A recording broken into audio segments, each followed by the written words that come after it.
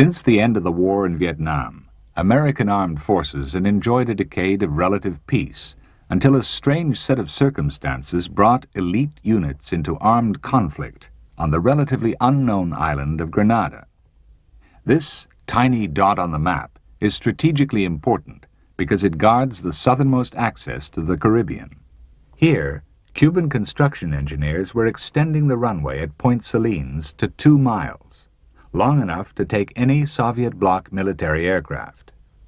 This, coupled with other recent events on the island, impelled President Ronald Reagan to finally take action in October 1983. The island, independent since 1974, had been a cause for American concern since 1979, when a left-wing government under Maurice Bishop seized power and began encouraging Russian and Cuban investment.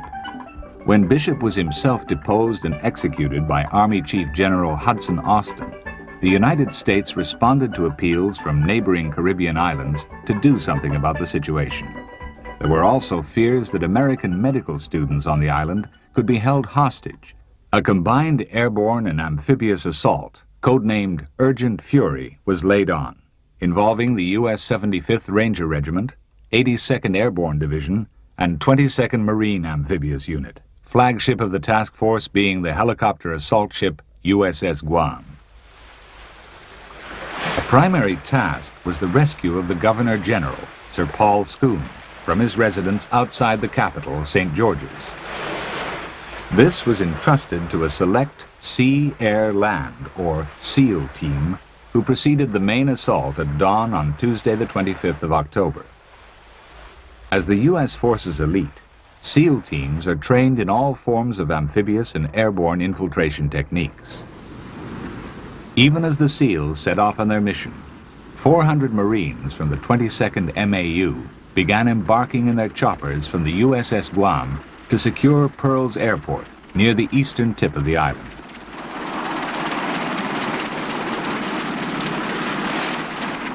The Guam carries some 25 Sikorsky CH-46 Sea Knight and CH-53 Sea Stallion helicopters in the assault role. Throughout the early stages of the campaign, official military cameramen using handheld video equipment covered many of the important actions. As it turned out, the 50 caliber machine guns in the Sea Knights were hardly needed.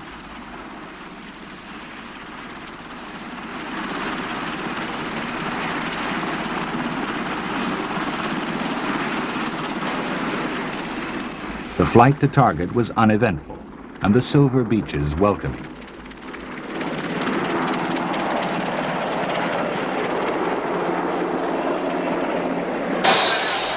Although one helicopter was hit by light anti-aircraft fire and had to be abandoned, ground resistance was weak, and the remainder landed safely at 0536 hours.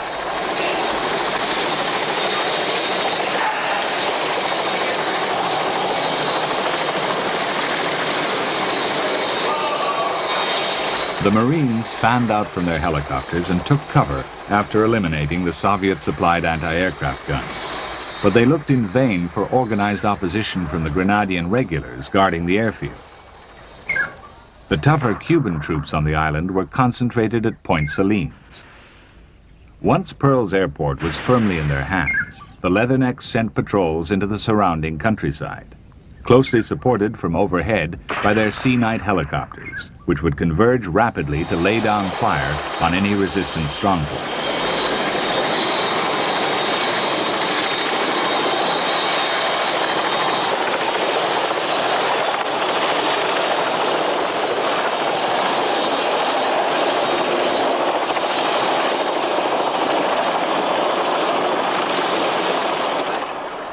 Now it was the turn of the Rangers to secure Point Salines airfield by means of a parachute drop from 500 feet, which is too low to allow the reserve chute to be deployed if the main one fails. The Rangers' 1st Battalion dropped successfully on target and accomplished their objective in record time, clearing the runway for the arrival of the 2nd Battalion. Initial airborne assault into here by the 1st and 2nd Ranger Battalion was about 7.15 in the morning, which was uh, was some live fire. The uh, aircraft themselves were receiving anti-aircraft gunfire. and uh, we jumped in at 500 feet. Second Ranger Battalion jumped in with no reserves, counting only on a T-10 to employ, and uh, we hit the airfield, moved up into the into the ground surrounding that area, and started sweeping over this area where the uh, enemies were firing back at us. The assault had airborne firepower support in the form of AC-130E Spectre gunships of the 16th Special Operations Squadron, 23rd Air Force, which flew from friendly Barbados to take out Soviet armor as well as searchlights and flak installations on the island. Originally developed for Special Forces operations in Vietnam, the AC-130 is armed with 20mm M61 Vulcan six-barreled cannon and carries sophisticated low-light television and infrared scanning equipment.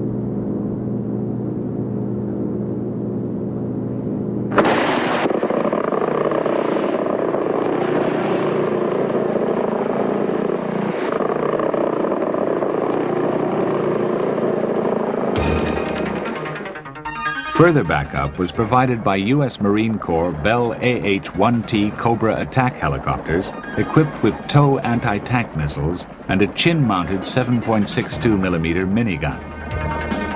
At the time, these were the most up-to-date version of the famous Huey Cobra, which had given such brilliant service in Vietnam. They hovered constantly overhead, as the Rangers began to advance inland from Point Salines, while the Cuban commander, Colonel Pedro Tortolo, fled to the sanctuary of the Soviet embassy in St. George's. The Rangers' next objective was to clear the bluff overlooking the airfield, from which heavy sniper fire continued to pour. It was an anxious time for the Cuban and Grenadian forces were pushed back from the perimeter of Point Salines Airport, still resisting fiercely in places, transport aircraft began arriving with reinforcements and heavy equipment.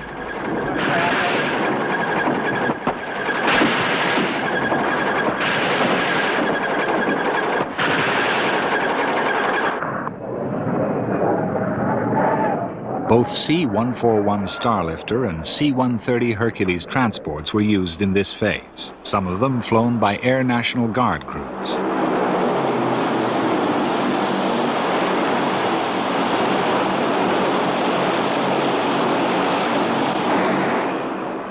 These aircraft were to bring in over 5,000 men of the 82nd Airborne with all their supplies and equipment.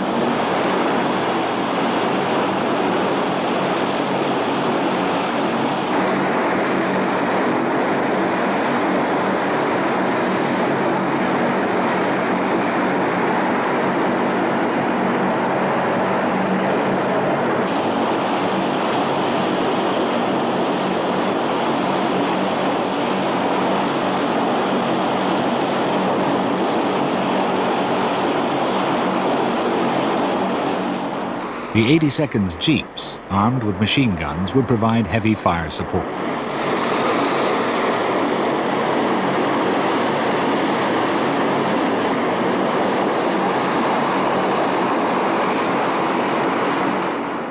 After repelling two Cuban counterattacks, the Rangers reached True Blue campus to the relieved cheers and laughter of the 130 medical students there.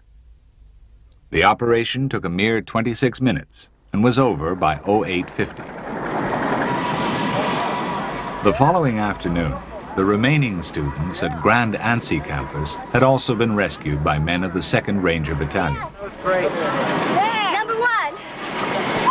Wait. My baby. Thank you, gentlemen. Thank you very much. Thank you. You guys say hello.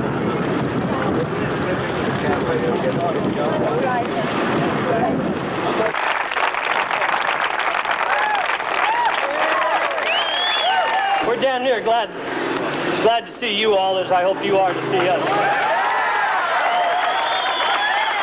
General?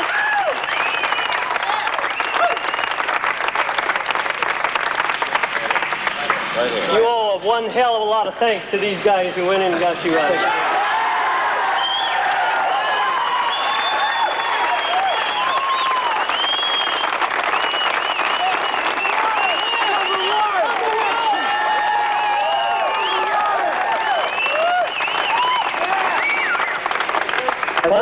Address them. I think they'd love Yeah, to if I could have your attention just a minute, please. Settle down. We, uh, we got the mission to go in and pick you up, and we're trying to figure out the best way to do it. And we had someone uh, down at the other school talking on a landline to make absolutely sure that we got you out without getting in, anyone injured. We were going to go in at 1600, at 1500, and we had to put it off because we had to shoot a preparation over in the Cuban area. That uh, who's the guy who talked to us on the telephone? Okay, great. Oh, him, that way. No, I mean the guy down down there. Okay, so what we did, the uh, they flew the helicopters in off an aircraft carrier, and in a very very short order, we put the operation together, coordinated the fire support, and thank goodness uh, they were able to put uh, 130 Rangers out of the Second Ranger Battalion in Fort Lewis, Washington, on the beach for you.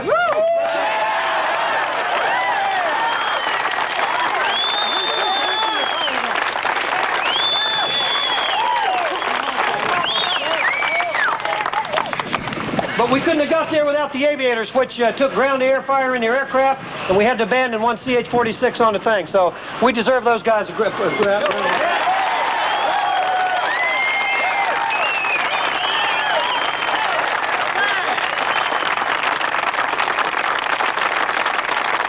you very much. After a brief address by Lieutenant Colonel Ralph Hagler, the medics were evacuated by helicopter.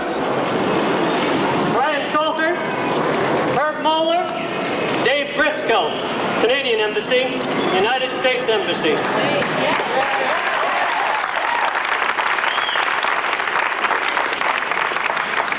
We're here to make sure you guys get home tonight.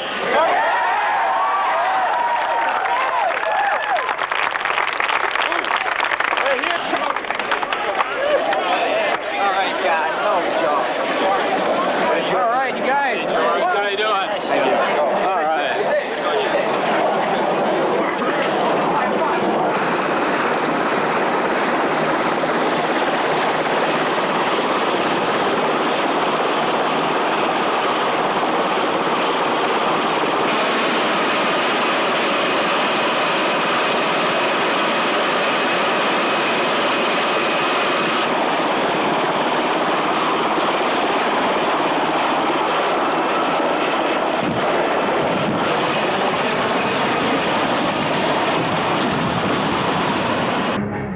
While all this was happening, the SEALs who had been sent in to rescue the Governor General had been involved in a fierce firefight and suffered heavy casualties.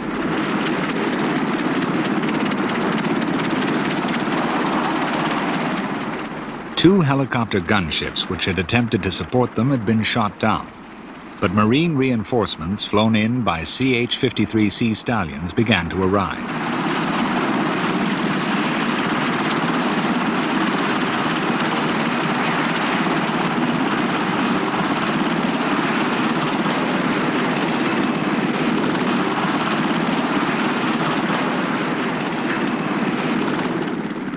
Marine officers quickly issued orders for the new arrivals to deploy. Caution still had to be exercised because of the danger of lone snipers. Despite the dangers, the Sea Stallions continued to shuttle between the ships and shore, bringing in ammunition and evacuating the wounded.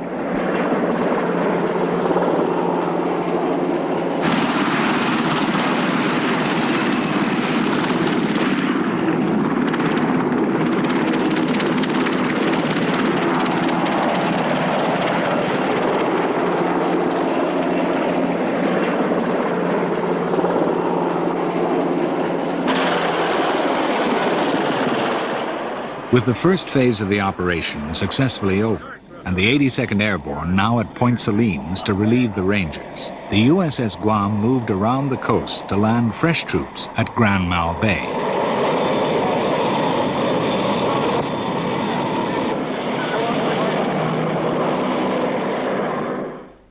At first light on Wednesday morning, the Marines at Pearls Airport were also flown by helicopter to take part in removing the remaining pockets of resistance in and around St. George's. Top cover was provided by Vought A-7 Crusader IIs, Grumman A-6 Intruders, and even F-14 Tomcats from the USS Independence.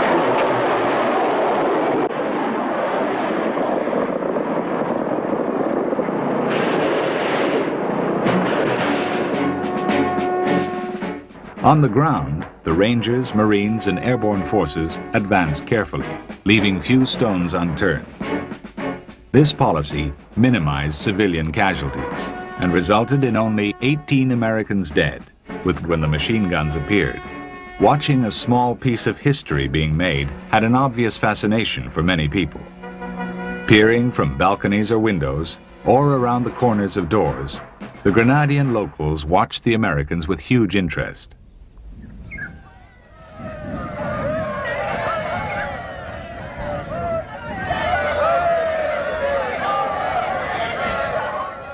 In many places, the welcome was rapturous, and plenty of people were surprised at the number of black faces among the troopers. Cuban propaganda had not led them to expect white Americans taking orders from black officers.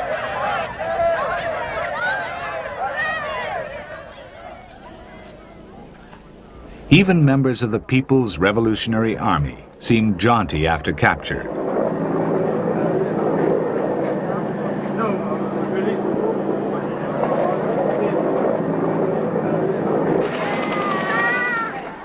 While the children thought it was all a wonderful adventure, of course.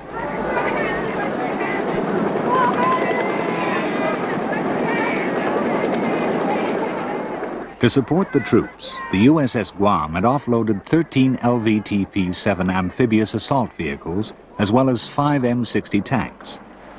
Jeeps, some armed with TOW anti-tank weapons, also played a significant part in reducing the opposition, as well as doubling as prisoner transport.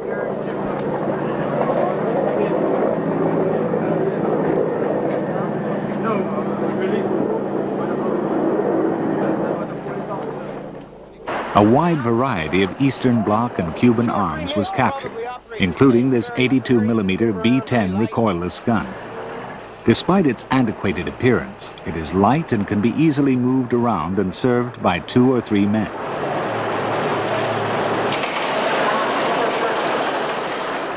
The ZU-23 twin-barreled anti-aircraft gun is a favored weapon throughout the Warsaw Pact, and if competently manned, is lethal against low-flying aircraft.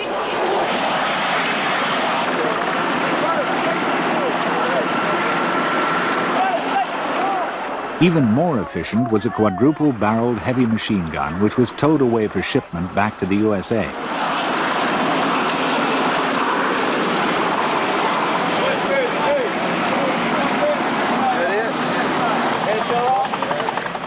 Large stocks of ammunition and small arms were also captured.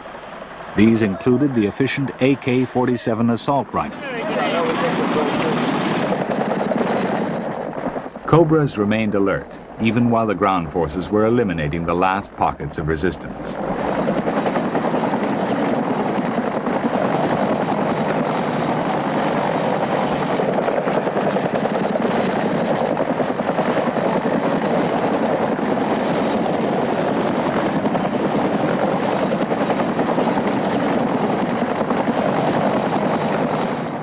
Then the International Press Corps arrived in strength to see for themselves what was happening, while an M60 tank stood guard on the skyline. The CO of the 22nd Marine Amphibious Unit, Lieutenant Colonel Ray Smith, made his point forcefully in an unofficial briefing. Before, I, before you ask me a question, I'd like to I'd like to give you a couple of suggestions. Now, you can do what you want to do. The people around here, though, are the story, in my view. The last, uh, however many days it's been, since uh, Tuesday morning, within 20 minutes after we landed, I personally landed, within, within 20 minutes after I personally landed, and I uh, Pearl Airfield, up north on the north, north side of the island, I had many of these people coming up telling me how glad they were we finally came. Now that's not what I've heard uh, around elsewhere, but I'm telling you, everywhere we've gone, I've, I've got people telling me, God, I'm glad to see you. Finally it's happened. I've been waiting for four years for this, and I'll guarantee you, I, I please ask you, go out there and ask them they're standing around there now. And I, if you don't, if you find one that don't say that, I'll be surprised. Basically, let me give you an example of why they why they were glad. I asked people up at Pearls when I first got here. Uh, we, within uh, two hours after we landed, I asked a couple of the civilians that came up to talk to me, how were we going to tell the communists and the People's Revolutionary Army soldiers from the militiamen and the civilians? And they told me, look for the brand new big cars. Now, that's their statement. Look for the brand new big cars. Those are the communists.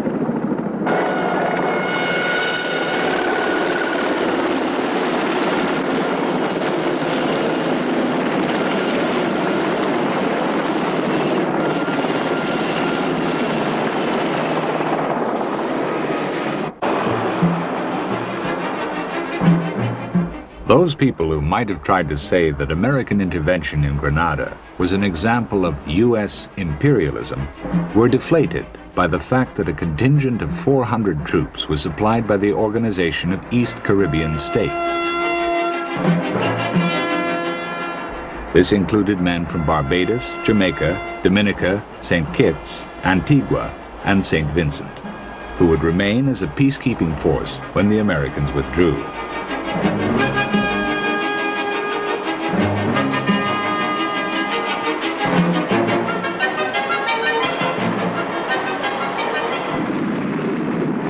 Last strong point to be reduced on the third day of the invasion was the Cuban barracks at Edgemont, where some 400 communists were thought to be holed up. First, men of the 82nd Airborne surrounded the compound.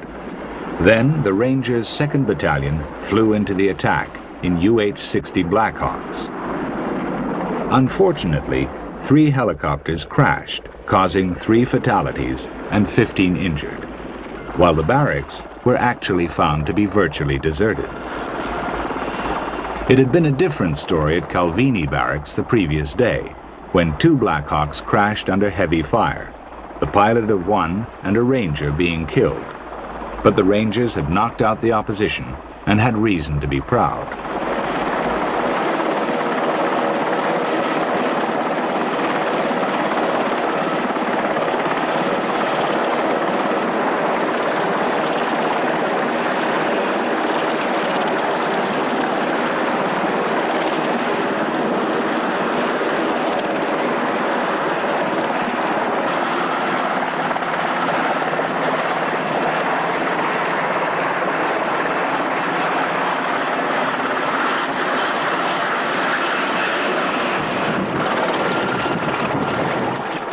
Then it was time to relax, time to take off combat kit and prepare for the flight home.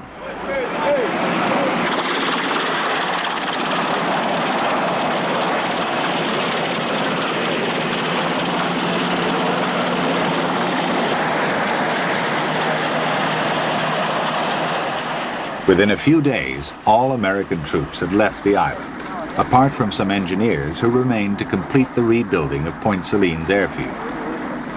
The operation had proved America's rapid deployment capability and restored democracy to the Southern Caribbean. I'm going to do my head with the top I'm Lieutenant Bowen from Charlie Company, 1st Ranger Battalion, 75th Infantry, out of Fort Stewart, correction, Hunter Army Airfield, Georgia. And, uh, this is Charlie Company. These are the men who uh, did all the work, and uh, real proud of them. They did a real fine job. Ready to go home now, and uh, uh, our company had no casualties. Uh, no one got hurt even. And uh, we're real happy to be going home. In fact, uh, right there, we hope to be boarding very quickly. The task force commander, Rear Admiral Joseph Metcalf, had the final word. Shaking hands with a real pro. It's good to have you. Welcome back. Good to have you. God it, it's good to have you here. I know it's good to be here. Welcome back. Thank you, gentlemen. What do you think I? Admiral. That way. God it, kind of red. That's oops, for an admiral, huh? Good to have you here. Welcome back. First rate. Good to have you, pro. God it. Have. Some of you guys guys may not know, but I'm in the Navy. I'm supposed to be running this whole thing. Uh, but I'll tell you who's really running it, who's really making it go are you people right here. You know, last night you weren't watching television. But anyway, the president went on television, you know, and he recognized the contribution that you're making. He recognized you guys down here in Grenada.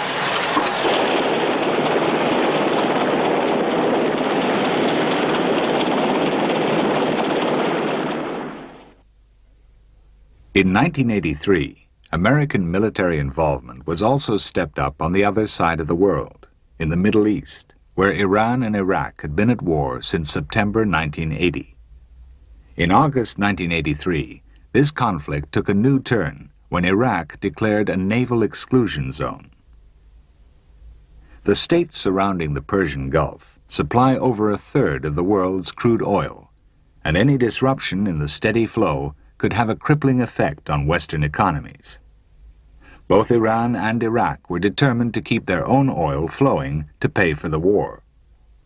Iraq had the advantage of an overland pipeline into Turkey, but Iran's exports almost all went by sea, funneled through the narrow straits of Hormuz. The United States had already said it would do whatever was necessary to keep the straits open to international traffic. A mixed task force of American, British, French, and Australian naval vessels had helped provide escort for neutral tankers since the beginning of the war. Despite this, there had already been a few casualties and shipping losses. The tankers generally traveled in convoy for mutual protection, hugging the coastline either side of the Gulf to gain protection from shore-based anti-aircraft batteries. Helicopters were used extensively as decoys against hostile missiles, using their speed and maneuverability to escape being hit at the last moment. They were not always successful, though, as the tanker Bridgeton discovered in 1987 when an Iraqi Exocet found its mark.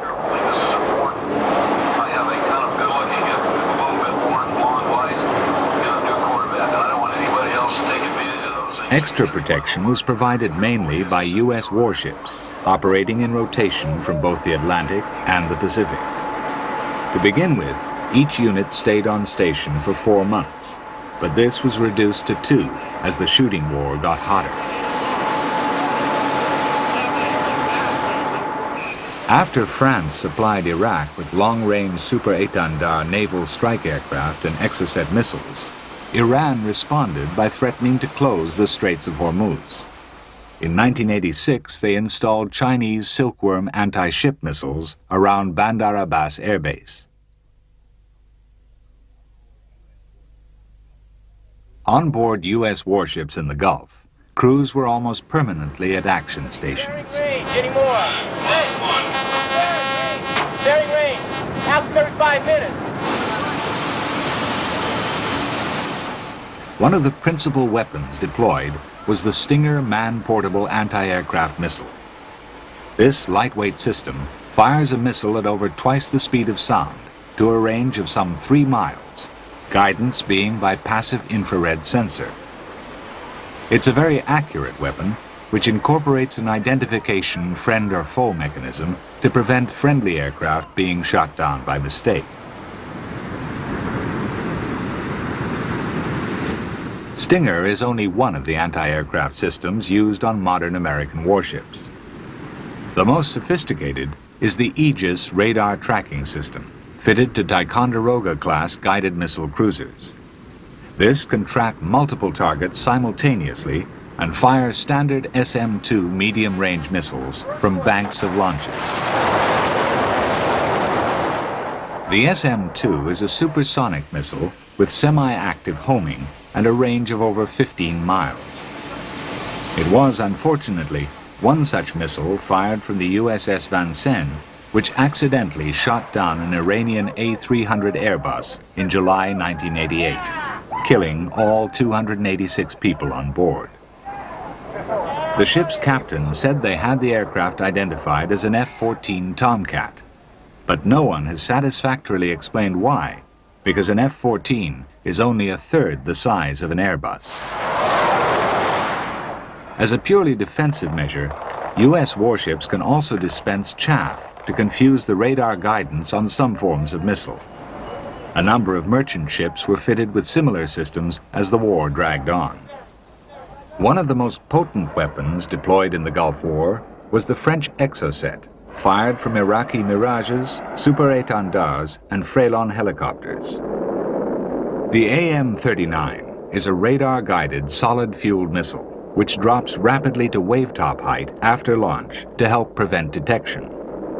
Flying just below the speed of sound, it has a range of over 40 miles and a 364-pound warhead, which had already proved its destructiveness in the Falklands War.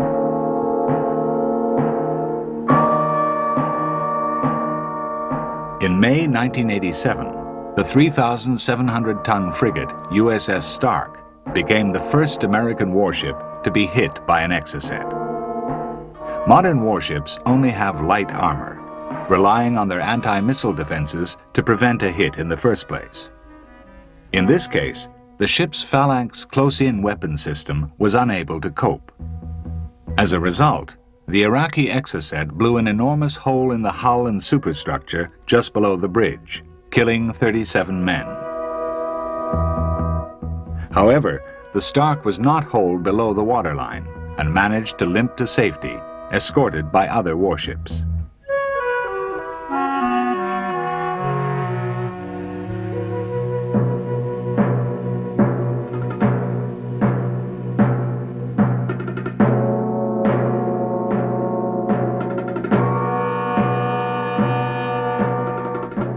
Clearing up the damage and preparing the bodies for burial was still a heartbreaking task for men who thought they were helping to keep world peace.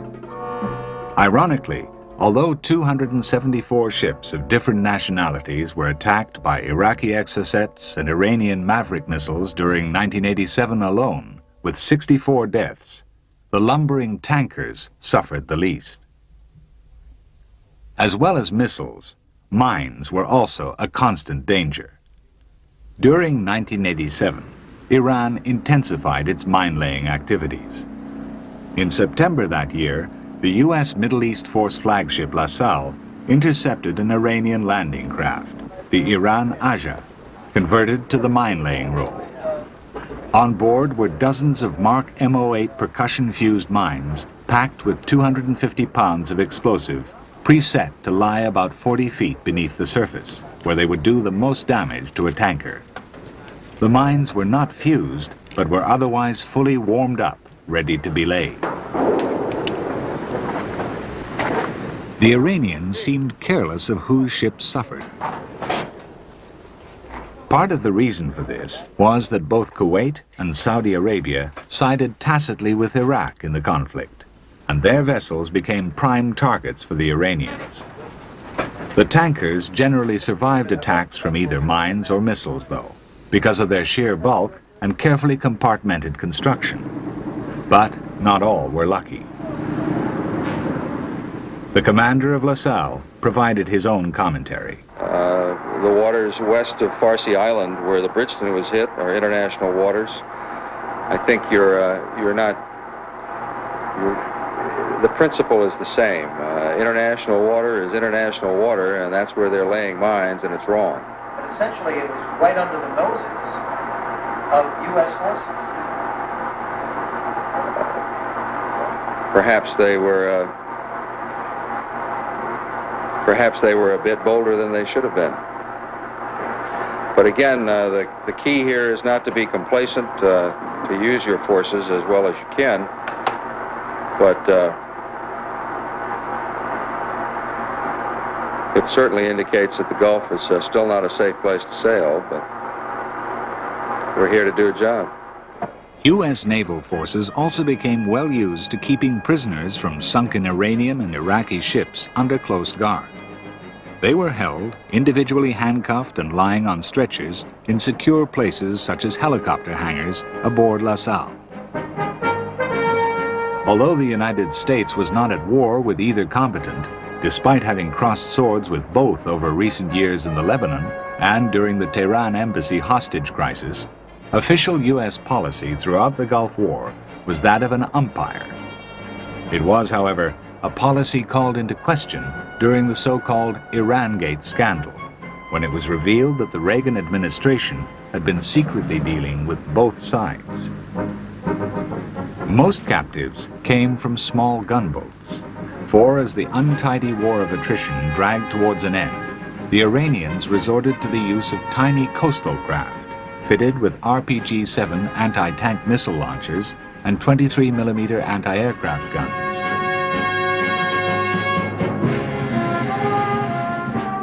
One such boat was discovered drifting abandoned by the crew of the USS Stark's sister ship, Reuben James. This was the fourth such craft captured by the American Middle East Force in a single six-month period.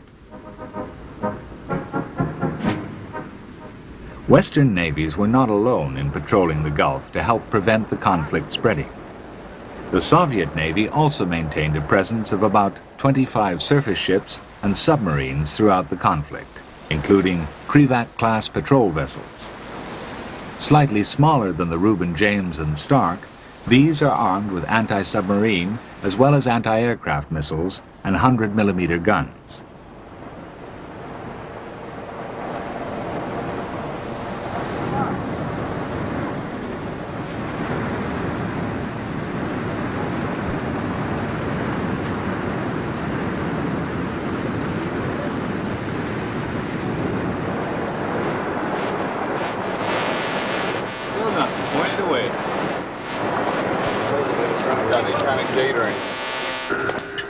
Despite the fact that both superpowers were anxious to avoid a confrontation in the Gulf, which could have led to global escalation, helicopters kept an alert watch and gun crews were closed up during such encounters. Iranian SRN-7 hovercraft were another common sight. The British Royal Navy maintained a force of around 12 ships in the Gulf Battle Group until the final ceasefire between Iran and Iraq in August 1988.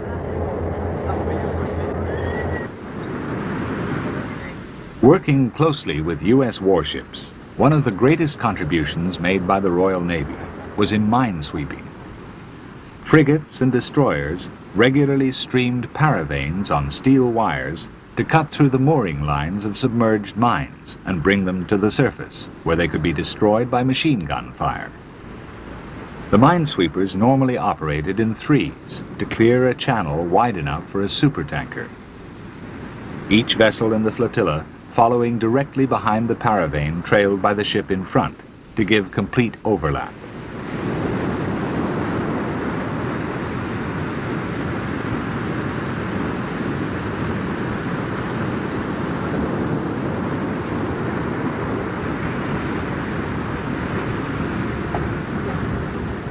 At the end of each run, the paravanes would be hauled inboard to be checked over prior to the next operation.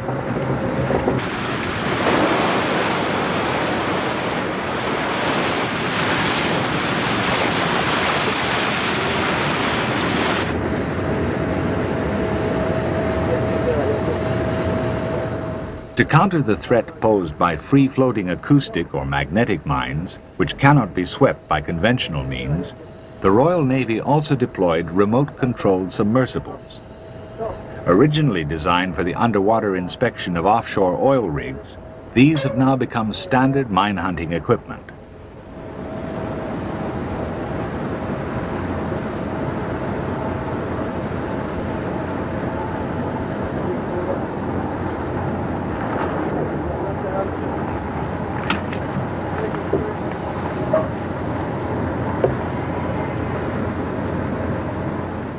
Wire guided, they are fitted with searchlights and television cameras, as well as active sonar, and patrol directly ahead of the mine hunting warship. On searchlight. Searchlight, sir. There's the MD. On. Roger, there's the MDC. Okay. From left, uh, 350. Left 350. Reduce speed. Value A, 2 yards. Value B, two and a half yards. Yard of shadow, possible mine.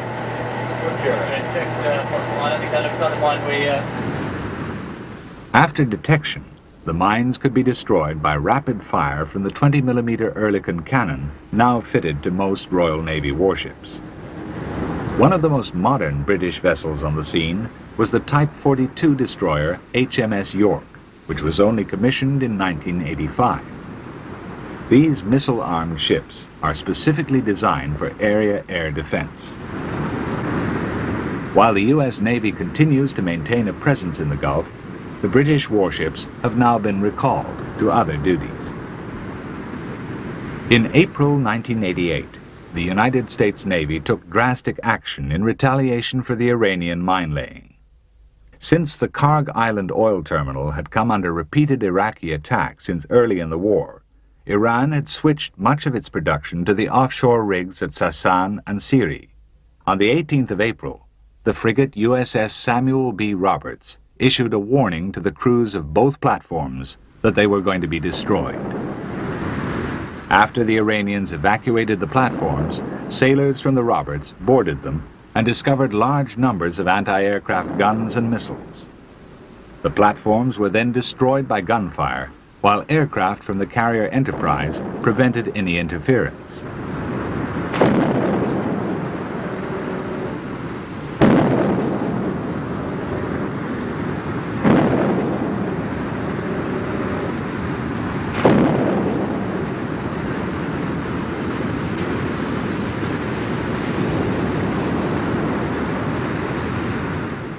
Empty shell cases could be seen bobbing in the water.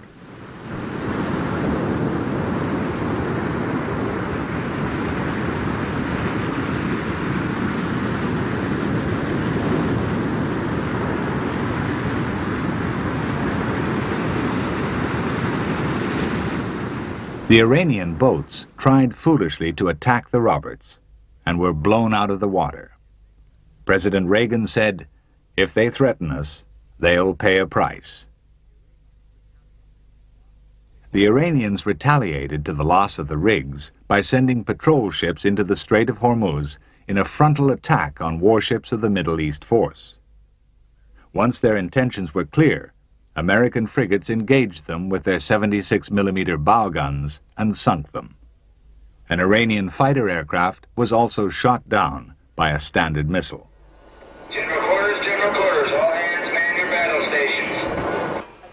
This unique footage shows the bridge aboard the USS Vincennes while under attack by a number of Iranian gunboats.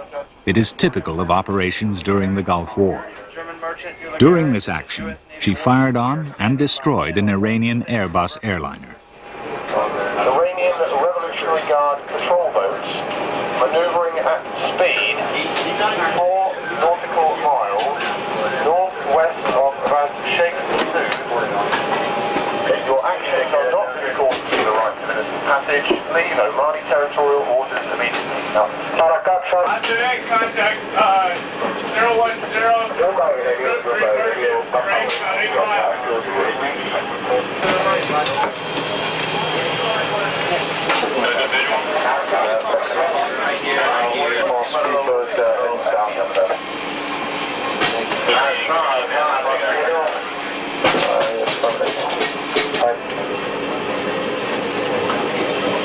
He says it might be one of the close rankles on the activist, but I can't tell. 354 true and uh, about five and a half. It is a large contact.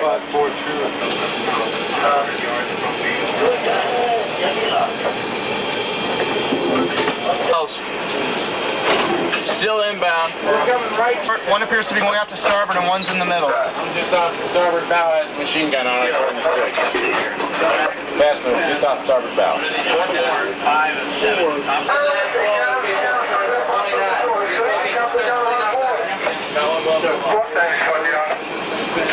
Three five zero is inbound. Relative. That's it.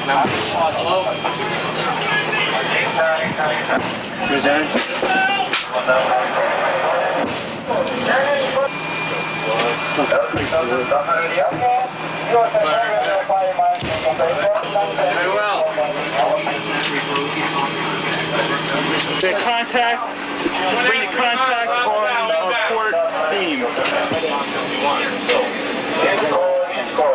Oh, five degrees up there. Oh man, he's right behind him. 300.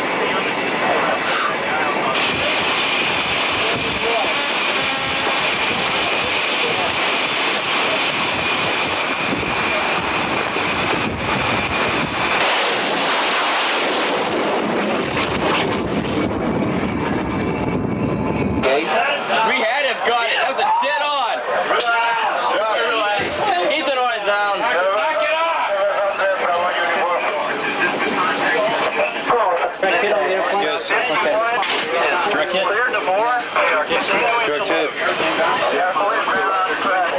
President hold the ship crossing the Iranian declared war zone line.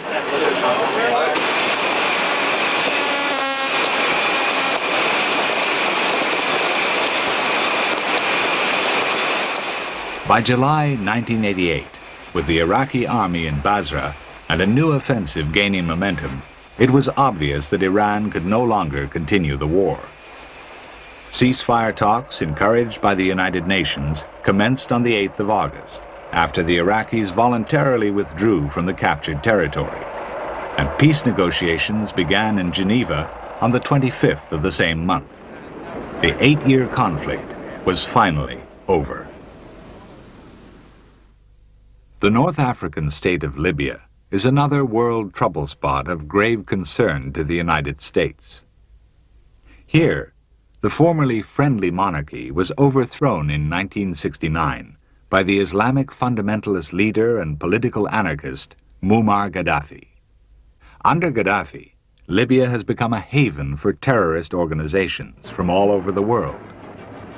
The U.S. Sixth Fleet in the Mediterranean has been keeping close watch off the Libyan coastline for many years. There have been several clashes between Libyan and American aircraft, notably over the Gulf of Sidra in 1981, when aircraft from the USS Coral Sea splashed two Libyan fighters. The principal Libyan combat aircraft are the MiG-23 Flogger, MiG-25 Foxbat, and Su-22 Fitter, plus some French Mirage F-1s and 5s. Then in January 1986, Gaddafi drew a line of death across the Gulf of Sidra, openly challenging the United States to take action in support of international maritime law. From the end of January 1986, A-6 Intruders, A-7 Corsairs, F-14 Tomcats, and F-18 Hornets began flying almost constant combat air patrols from the carriers Coral Sea and Saratoga. The fighters carried a full load of Sparrow and Sidewinder air-to-air missiles at all times and carried out several interceptions of Libyan aircraft which ventured towards the carrier groups. In every case, during this phase of operations, though, the Libyans made no hostile moves and meekly allowed themselves to be turned back inland. In March, reinforced by the USS America battle group, U.S. ships crossed Gaddafi's line of death for the first time. The Libyans responded by sending out Nanuchka-class missile corvettes, one of which was sunk by a Harpoon missile launched from an A-6, and another damaged. In this slow-motion infrared sequence, a missile can be seen leaving the aircraft and hitting one of the Libyan vessels. Now, in response to a new wave of terrorist attacks in Europe, planning began for a major operation to teach the Libyan leader a lesson.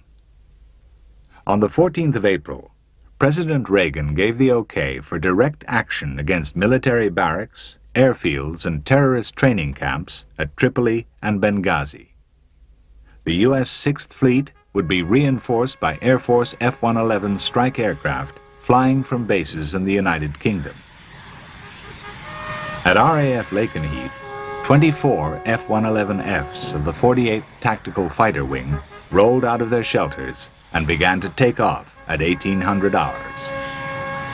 They were supported by four EF-111 Raven electronic countermeasures aircraft from the 42nd Electronic Combat Squadron at Upper Heyford.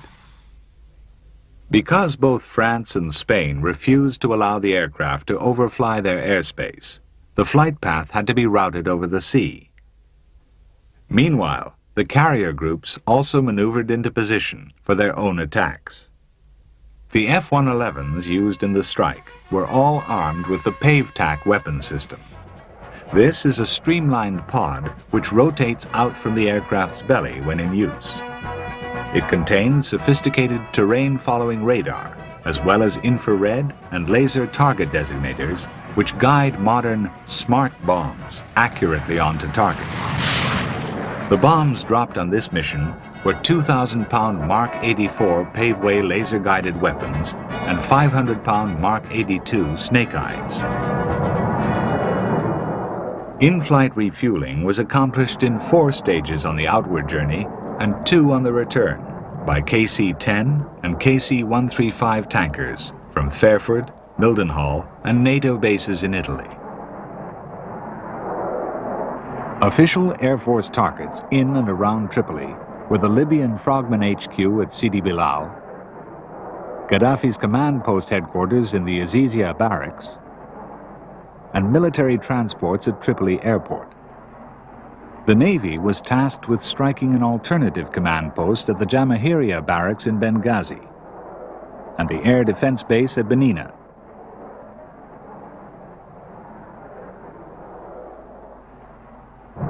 As the F-111s approached their targets, the Pave Tack pods were swung out in the terrain-following mode, and the laser designators switched on to warm up.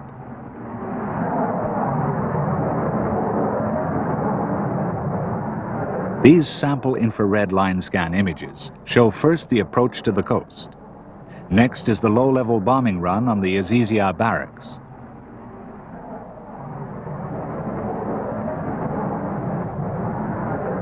Gaddafi's circular white tent and even the tent poles are clearly visible. Members of his family were reportedly killed and wounded here. Finally, the F-111s approached Tripoli Military Airport. Here, five Ilyushin 76 transports on the ground are severely damaged by snake-eye retarded bombs. In the Libyan capital, the attack erupted. Libya possessed SA-3 and SA-5 surface-to-air missiles, and certainly fired many of her 23, 30, and 57 millimeter anti-aircraft guns. Since the attack on Tripoli lasted only 11 minutes, and the defenses were not on alert, most of the fire loosed off by the defenders was certainly much too late, the gunners and rocket men actually firing wild. Despite the use of precision bombing methods, some weapons landed off target in a number of city areas.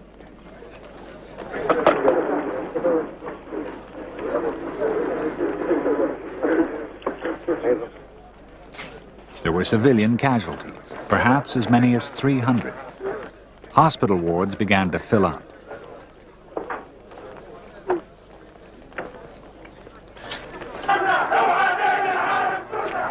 The exasperated Libyan militias vented their anger.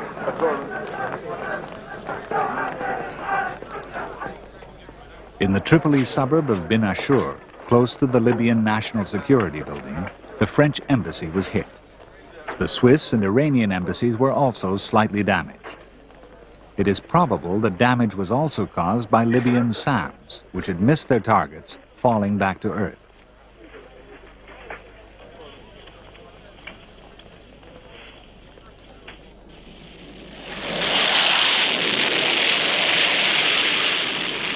For the attack on Benghazi, the Navy's carriers Coral Sea and America launched 24 A-6 intruders. Six FA-18 Hornets were also dedicated to the attack.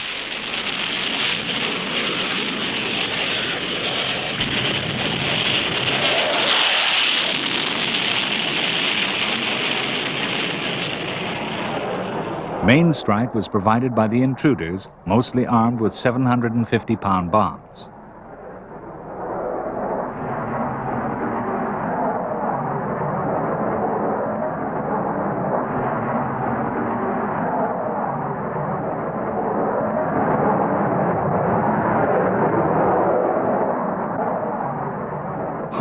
Anti-radiation missiles, which home on the radar emissions of enemy detection, and gun and missile guidance radars were also employed.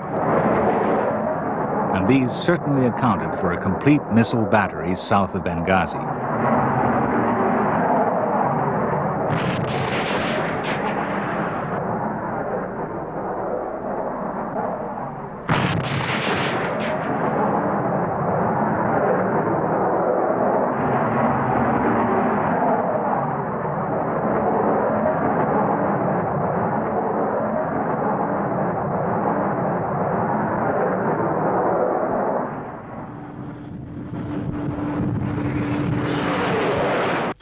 The strike against Benina probably prevented the Libyans from scrambling their potent Mirage F-1 and MiG-25 Foxbat interceptors before the U.S. aircraft had departed Libyan airspace. In all, both raids actually lasted only 13 minutes. Shortly afterwards, one F-111 was reported downed, and a search and rescue mission was launched from the carriers. Unfortunately, the two-man crew were lost. Major Fernando Ribas Dominici and Captain Paul Lorence were subsequently awarded posthumous air medals. The remainder of the strike force returned safely to their bases, although one F-111 had to divert to Rota in Spain because of an overheating problem. The first F-111 touched down back at Lakenheath at 0630 hours the following morning. Mission accomplished. Later reconnaissance by high-flying SR-71 Blackbirds from Mildenhall confirmed the accuracy of the strike, performed at night after a grueling six-hour flight. The next direct clash between America and Libya took place on the 4th of January 1989. Tension was high because of disclosures that Libya was building a chemical weapons plant at Rabta two F-14 Tomcats had taken off from the USS John F. Kennedy on a routine patrol when, at 11.55 hours, an E-2C Hawkeye warned them that two Libyan MiG-23 floggers had just taken off. As the Libyans drew closer, the F-14 weapons officers locked on their missile guidance radars. The MiGs ignored this warning and continued to close in an attack mode. The leading Tomcat fired two Sparrow air-to-air missiles, which missed. The Libyans turned towards the wingman, who fired a Sparrow which hit one MiG, then followed through with a Sidewinder, which splashed the other. Okay, he's got a missile off. Breaking right. Good hit, good hit on one. Roger that. A kill, good kill. I've got the other one. Select Fox 2, select Fox 2. I got Fox 2. Shoot him. I haven't got a tone. Got the second one. I got the second one on the nose right now. Hey, I'm high cover on you. Get a fox, get a lock him up. Lock him up. Man, shoot him, Fox 2. I can't, I don't have a tone. So, so what?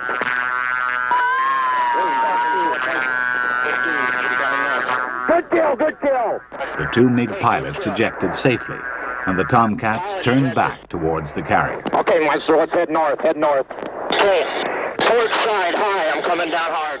The U.S. Armed Forces had demonstrated once again that America will not give in to international terrorism.